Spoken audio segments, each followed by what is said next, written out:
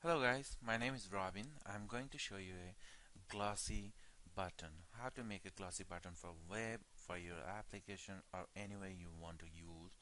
So let's open a new document. Click OK and I will choose a darker background like 464646 as a hexa code and by pressing Alt Delete and on Mac Option Delete will fill the background color with foreground color. Okay I'm using a darker color because glossy things looks better against a darker background color. Choice is yours which color you want. Okay I'll take the ellipse tool now. By pressing shift on my keyboard I'll come up with this solution. Okay here I got my gradient already created here like gradient overlay here by pressing double click here or right click layer properties and come to layer style to open this layer style okay? So from the gradient overlay click here and see what color value I choose. C90202 as a hexacode click OK and 780707 as a hexacode for the other color. Always try to play if you want to make this all glossy button. You always try to need to play with two colors as same shade darker and lighter and click OK and click on the reverse. I want the lighter red color on the top so I have to click reverse or whatever you want your gradient to do. So click on the same settings and darker color at the bottom and click OK. Okay here we got the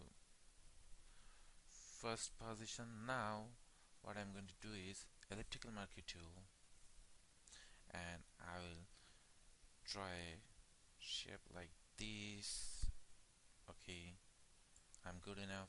Now creating a new layer here and fill it up with the paint bucket tool with the same color here okay.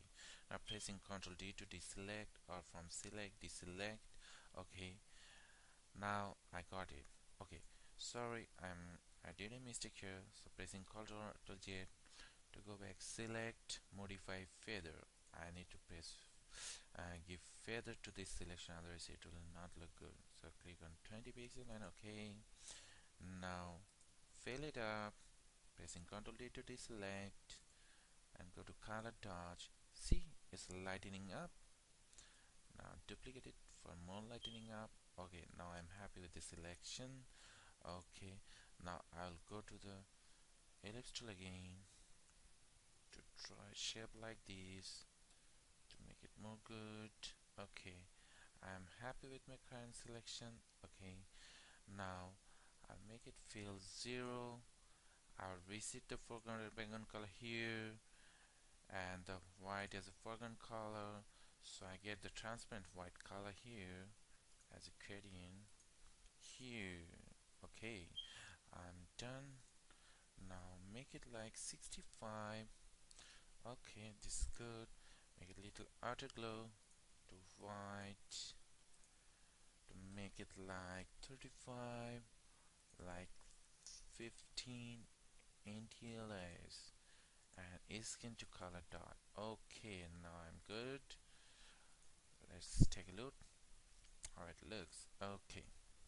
So already it's closing up. Okay we're fine. Now a type layer for example Z now pressing Ctrl T. See how we want it. Okay for example I want it here make it color to black.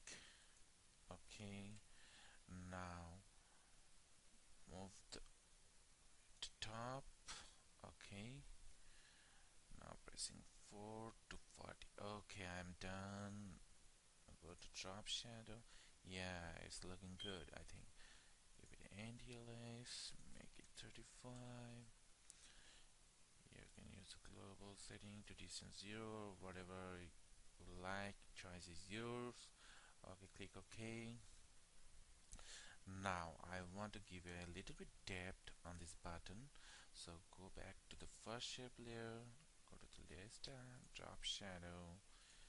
Using distance 0 using 15 anti-alias 35 here we go.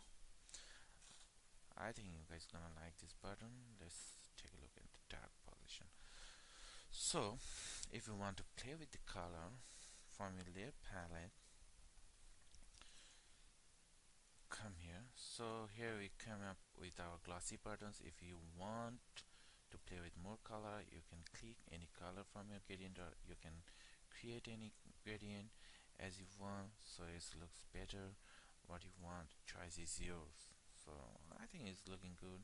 Whatever you want how do you play so if you like this tutorial say thanks and give 5 star rating to this, this tutorial. And you can also comment or message me for any tutorial specifically you want. But I'm going to create new video tutorials from now on on my YouTube channel day by day. So if you like my tutorial or if you want in you want to have new tutorial in future just subscribe to my channel. Thank you for take care. Bye bye